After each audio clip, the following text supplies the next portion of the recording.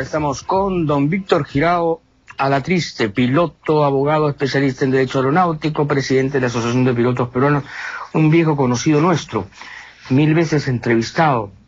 Lo recuerdo sobre todo en las agonías de Aeroperú, cómo se luchó para evitar esa venta fraudulenta a unos gángsters mexicanos que terminaron revendiéndola, cuadruplicando su precio. Eran las épocas en que el señor Fujimori vendía el país a pedazos. Claro, si no era suyo, ¿cómo no lo iba a vender? Mejor dicho, ¿por qué no habría de venderlo? Y lo vendió.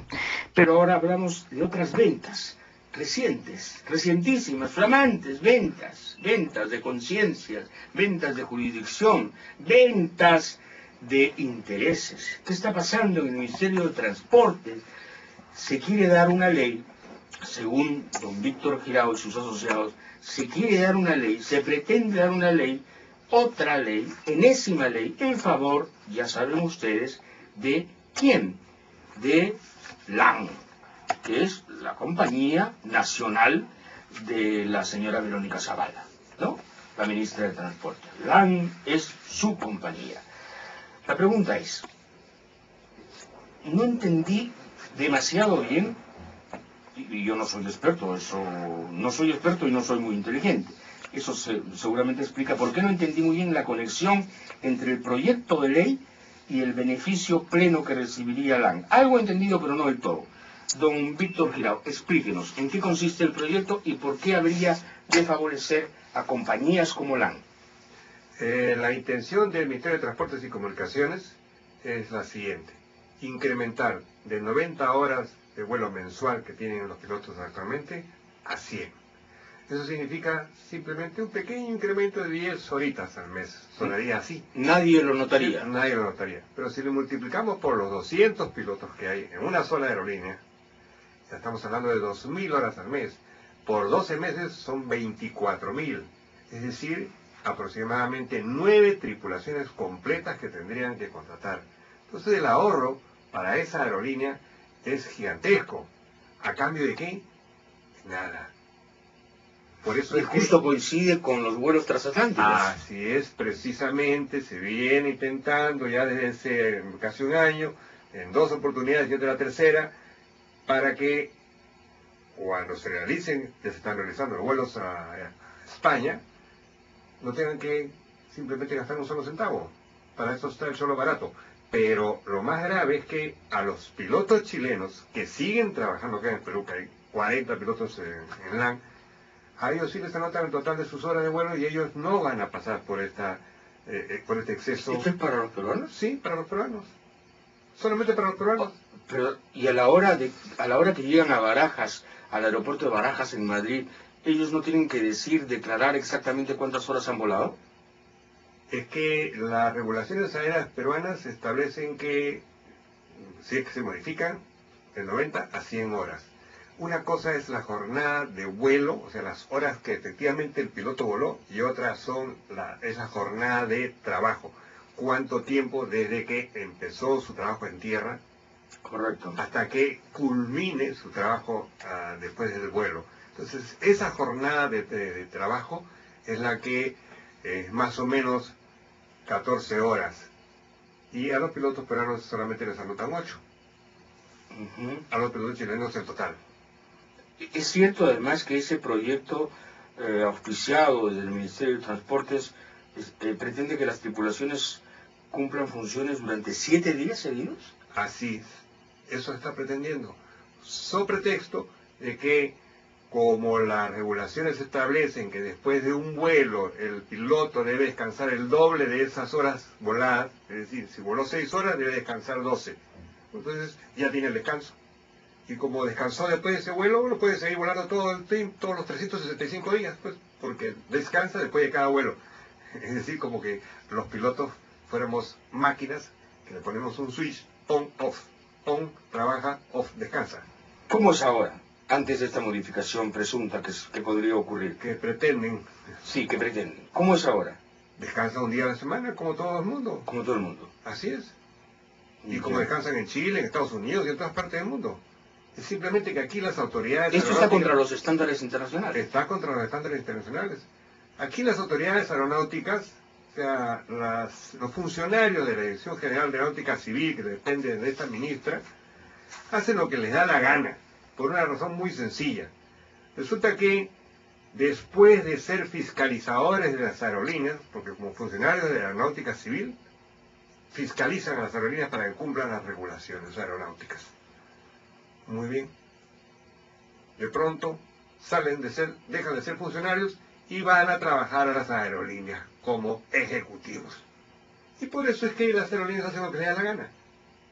Además... ¿Me podría usted dar un par de ejemplos? Sí, hubieron dos casos en LAN precisamente, de Robles Venturo, que estuvo desempeñando la gerencia de operaciones, y el otro de el hijito del exministro de Fujimori, Antonio Leyeluchi, que también estuvo trabajando como funcionario de la aeronáutica civil y fue, a parar a LAN.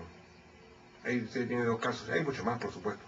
¿Qué otros aspectos del proyecto de ley, de esta tentativa de ley, eh, podrían ser objetados? Bueno, además de este problema de las horas, de las jornadas, ya es tiempo de que se elimine por completo eh, que en el Perú continúen volando pilotos chilenos. LAN tiene ocho años superando en el Perú. Tiempo más que suficiente para haber capacitado tripulaciones peruanas. Y además se está violando la ley de aeronáutica civil que establece solamente seis meses para que pilotos extranjeros vuelen el Perú, prorrogables a seis meses más en el caso de que no hubieran tripulaciones suficientes, hubieran habido inconvenientes. Un año para que capaciten a pilotos peruanos. Han transcurrido ocho y todavía tenemos 40 pilotos chilenos, entre otros, además de otros extranjeros, pero los pilotos chilenos volando en LAN. ¿Qué quiere decir? Que los pilotos somos imbéciles, tarados, tenemos limitaciones de alguna naturaleza para no poder volar esos aviones. ¿Y sabe cuál es el pretexto que utilizan para no contratar a pilotos peruanos? Lo someten a un examen psicológico. Y luego del examen psicológico les dicen, usted no cumple con el perfil psicológico del LAN. ¿Y cuál es el perfil psicológico del LAN? Solo ellos lo saben. Los pretextos y autoridades peruanas, por supuesto, no dicen nada. Es una entrega completa entonces a los intereses de esta compañía. Total, total, vergonzosa, asquerosa. ¿Hay precedentes de esto? ¿Alguna vez se actuó así? Nunca, jamás. Ni con Fujimori. Ni con Fujimori. Nunca, jamás. ¿Y a qué cree usted que se debe Aquí siempre hubieron, y además hay pilotos peruanos actualmente sin trabajo. Decenas de pilotos peruanos que están emigrando, están trabajando en el África, están aquí pateando latas.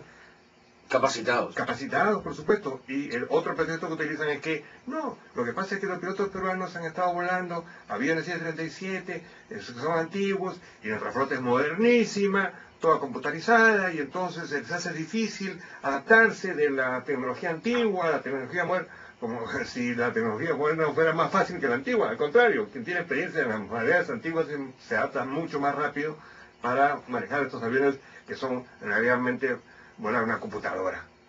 Ya no es volar un avión. Entonces, estos pretextos que utilizan... ¿A qué cree usted que se debe este favoritismo? A la corrupción, a la coima. Porque a Chalán no le conviene pues tener eh, toda una flota de, todo una, un plantel de pilotos peruanos porque podrían crear un sindicato, podrían eh, hacerle problemas de índole laboral, exigir que se cumpla con las regulaciones, en fin. Y por eso es que LAN, además le conviene tener pilotos chilenos aquí en Perú, volando dentro del Perú, para vigilarnos. Es muy sencillo. Recordemos que aquí han habido pilotos chilenos de la Fuerza Aérea Chilena, volando aquí en Perú.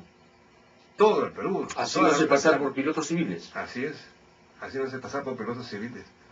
Con autorización de las autoridades chilenas, militares chilenas, y permitida por el Ministerio de Defensa, vergonzoso, el Ministerio de Aeronáutica, vergonzoso, la Fuerza Aérea Peruana, vergonzoso, Aeronáutica Civil, vergonzoso, eh, Relaciones Exteriores, vergonzoso. Todos han permitido aquí, sabiendo que eran pilotos militares chilenos, que vengan a volar. ¿Cuál es la situación de este proyecto? ¿Está en el Congreso? ¿Va a ir al Congreso? ¿Ya está en una comisión? ¿Cómo está? Le hemos remitido a los congresistas que sabemos todos están en estos momentos peleándose las comisiones están ahora en estos momentos, este, bueno, con el terremoto también hay cierta dedicación de algunos de estos congresistas, pero eh, en realidad están eh, en pugna por las comisiones. Tenemos que esperar quienes sean los designados para la Comisión de Transportes y ellos deberán ser quienes se encarguen de tomar este asunto en sus manos. Pero el, proyecto, el proyecto ya está redactado y todo. El proyecto nosotros lo tenemos listo. Es simplemente que estamos esperando aquí entregarlo, porque lo contrario lo vamos a entregar... No, no, no, me refiero a, la tentativa del Ministerio de Transporte. Ah, eso ya está prepublicado desde hace meses. Ellos tienen un sistema muy, muy subgéneris. Resulta que prepublican en su página web las modificaciones. Y uno tiene que estar permanentemente vigilando qué, es lo que están haciendo estos sinvergüenzas, porque de repente por ahí hay un torpedo. Y descubrimos que, bueno, se habían prepublicado estas pretendidas modificaciones y dan un plazo para que los interesados puedan hacer sus observaciones. Las observaciones las tienen al tacho y cuando ven que no hay mucho, mucha protesta, bueno, hacen efectiva la publicación. Y el problema es que precisamente nosotros estamos pidiendo que sea una ley la que regule el, trabajo de las tripulaciones porque mediante este sistema administrativo de las prepublicaciones de aeronáutica es un simple director el tercer nivel que puede modificar el trabajo de las tripulaciones, cuando debería ser regulado por ley, como siempre lo fue. Existía una ley, la 15256, que es la que regulaba el trabajo de las tripulaciones aéreas y que el gobierno de Fujimori la, la derogó. Y entonces lo que queremos volver a eso. Una ley, de manera que solo se pueda modificar por ley. Estamos hablando acá de la vida de los pasajeros, la vida de los tripulantes, la seguridad de los vuelos. No estamos hablando aquí del trabajo de oficina, como estos eh, funcionarios de aeronáutica civil. O sea que la Comisión de Transporte va a ser decisiva en este asunto. Va si pasa o no pasa. Así es, va a ser decisiva.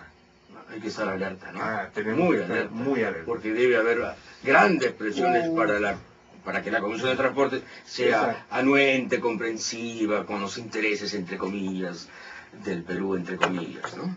Así es. En este momento debe haber una presión tremenda. ¿Quién preside la Comisión de Transportes? La, pidió, la, presidió, la anterior la presidió Álvaro Gutiérrez. Álvaro Gutiérrez, madre mía, socorro, auxilio. Este, pero, no parece que no va a ser esta vez. Este, esperemos que sea algún otro comerciante. Ojalá que no sea otro Aldo como Estrada, ¿no? Ojalá que no. Ya, muy bien, muchísimas gracias. Hemos estado con don Víctor Giraba, triste piloto abogado, especialista en Derecho Aeronáutica y presidente de la Asociación de Pilotos Peruanos, dándonos estas eh, revelaciones extraordinarias realmente, no tan extraordinarias en el sentido de que son repetitivas, pero sí excepcionales en cuanto a su gravedad y en cuanto a que efectivamente tienen que ver con la seguridad de todos nosotros, prolongar la jornada de trabajo extenso de los pilotos es poner en riesgo a las tripulaciones y a los pasajeros, pero además hacerlo en nombre del interés de una compañía que acaba de inaugurar vuelos transatlánticos es más vergonzoso todavía, ¿no? Muchas gracias, don Víctor. Gracias a ustedes, señor. Regresamos de inmediato.